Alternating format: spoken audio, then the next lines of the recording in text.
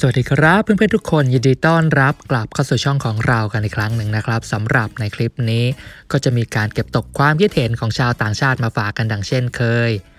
โดยใน episode นี้จะเป็นคอมเมนต์ของแฟนฟุตบอลชาวเกาหลีใต้ หลังการลงสนามในศึก K League เป็นนัดที่ 2 ของศศลักษณ์ ไหประโคนในเกมที่ทีมชุนบุคของเขา เปิดบ้านถล่มกวางจูไปแบบขาดลอยถึง 3 ประตูต่อศูนย์ ซึ่งจากการได้รับโอกาสลงไปสัมผัสเกมในช่วง 10 นาทีสุดท้ายของเจ้าพีในเกมนี้ แฟนฟุตบอลที่นั่นเขาจะมีคอมเมนต์ถึงเขาอย่างไรกันบ้าง เดี๋ยวเราลองไปฟังกันดูครับโดยแฟนบอลคนแรกนี่ได้มาแสดงความคิดเห็นถึงผลงานของซาสลักที่ลงไปเป็นตัวสำรองในตำแหน่งมิดฟิลด์ในเกมนี้ว่าซาสลักนั้นดูประหม่ามาก ผมเกรงว่าเขาจะต้องกลับประเทศไทยเร็วๆนี้ ส่วนคนต่อมาก็ได้มองนักเตะไทยของเราว่า จนถึงตอนนี้เขายังไม่ค่อยดีนะ จังหวะการเล่นไม่ตรงกัน ความเร็วไม่เด่นชัด การจ่ายบอลก็ไม่ชัดเจนมากนัก ผู้เล่นไทย เวียดนามแล้วก็ผู้เล่นเอเชียตะวันออกเฉียงใต้คนอื่นๆ ยังอยู่ต่ำกว่าเรา 2 ระดับ แต่จากตรงนี้คอมเมนต์ต่อมานี่ก็ได้มองว่า ผมคิดว่าเขาจะดีขึ้นได้ถ้าเราให้เวลามากกว่านี้อีกสักน้อย เช่นเดียวกับคอมเมนต์ต่อมาที่ก็มากล่าวว่า เขาจะต้องดีขึ้นเร็วๆนี้แฟนบอลชาวไทย ส่วนคนต่อมาก็ได้กล่าวต่อไปอีกว่า มันมีหลักฐานที่ชัดเจนว่า เขาได้พยายามอย่างหนักที่จะปรับตัวเข้ากับจังหวะของเคลีก มันเห็นได้ชัดว่า เขาเป็นผู้เล่นที่มีความสามารถเฉพาะตัวที่เพียงพอ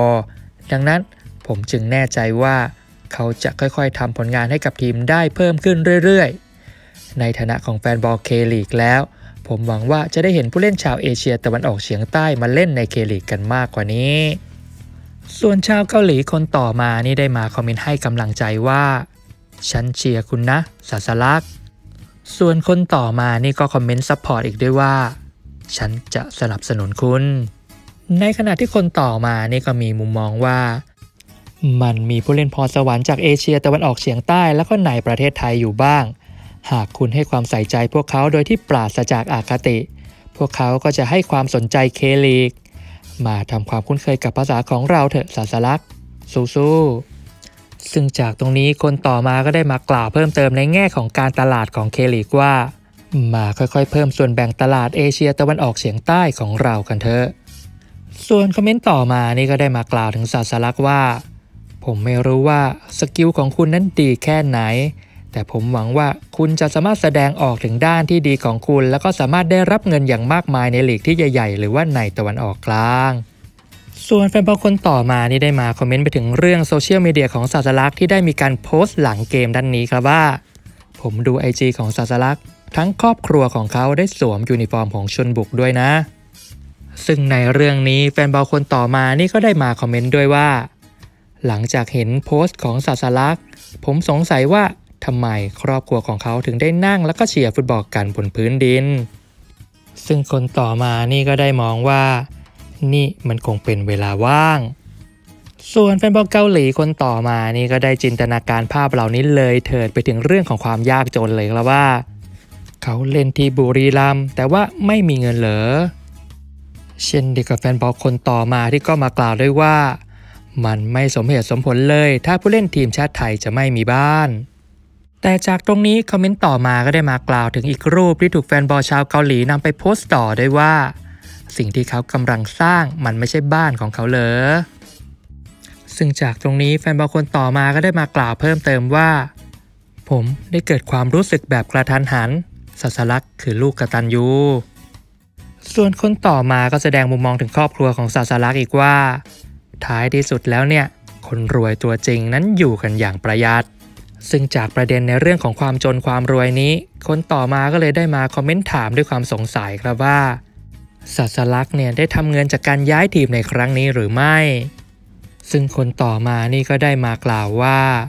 เขาเป็นสมาชิกของทีมบุรีรัมยูไนเต็ดซึ่งเป็นทีมที่ร่ำรวย และเขาก็อยู่ในทีมชาติไทยด้วย เขามาที่ชุนบุกด้วยการยืมตัว ส่วนคนต่อมานี่ก็ได้มาคอมเมนต์ว่า ประเทศไทยเนี่ยดูเหมือนว่าจะมีเงินเดือนกันที่สูง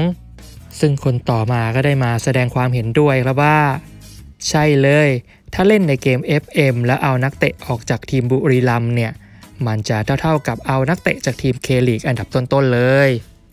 ส่วนคนต่อมานี่ได้มาคอมเมนต์ไปถึงเรื่องของรายได้ของศาสลักษ์ที่ผมไม่แน่ใจว่าเป็นข้อมูลที่ถูกต้องหรือเปล่านะครับ โดยเขาได้กล่าวว่า ผมได้ยินมาว่าชนบุกนั้นลดเงินเดือนของเขา ซึ่งจากตรงนี้แฟนบอลคนต่อมาที่เป็นคอมเมนต์สุดท้ายในคลิปนี้ก็ได้มากล่าวเพิ่มเติมว่า มันมีเงื่อนไขของสัญญาในการซื้อตัวเขาให้ย้ายทีมแบบถาวรหลังการยืมตัว ฉันรู้ว่ามันมีการมองหาการย้ายทีมแบบถาวรกันก่อนหน้านี้ แต่ว่ามันมีเรื่องที่พลิกไปพลิกมา ดังนั้นสัญญามันจึงเป็นเงื่อนไขการย้ายทีมแบบถาวรหลังการยืมตัว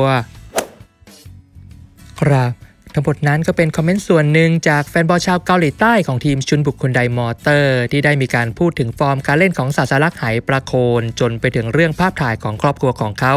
หลังเกมนัดนี้กับกวางจูที่ผมได้เก็บตกมาฝากกัน เป็นควันหลงจากศึก K League กันในคลิปนี้ ซึ่งถ้ามีความผิดพลาดในการแปลณตรงจุดใด แอดมินเองก็ต้องขออภัยไว้ณที่นี้ด้วย แล้วกลับมาพบกันได้ใหม่อีกครั้งใน episode หน้า ขอบคุณและสวัสดีครับ